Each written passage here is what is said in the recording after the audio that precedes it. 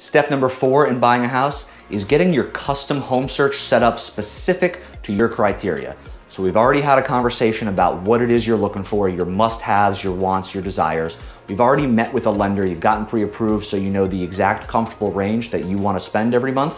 And now we're gonna go into the multiple listing service and we're gonna set you up on a custom search to exactly the criteria that you requested. So we're gonna do this together. So as we're setting it up, you see whether the homes, you know, whether as the list gets smaller and smaller or if it expands, we can look on a map and we can say, okay, I really don't want this neighborhood and we can exclude the homes in that neighborhood. So we're doing this together. It's a collaborative process to make sure we're both on the same page and you are seeing the exact results of what we're putting into your search criteria.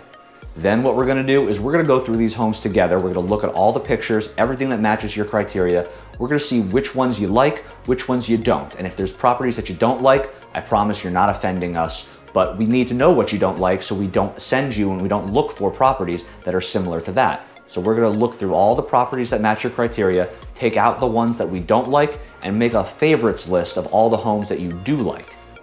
Our goal is to not waste your time. If we can do this together and we can look at the properties together, we don't have to go out and see 50, 60 homes, every single property that you know, somehow matches your criteria. We can narrow down and focus on the ones that are perfect for you so you don't spend time walking into a million different houses. We're only going to the couple that are really perfect for you.